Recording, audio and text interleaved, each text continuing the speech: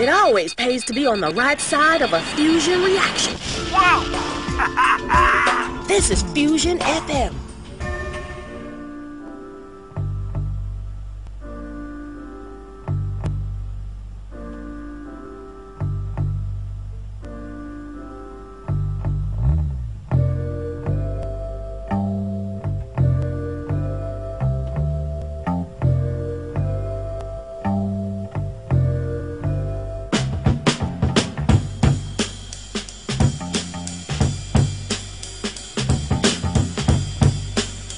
I think you're going to enjoy this one. It's David Axelrod.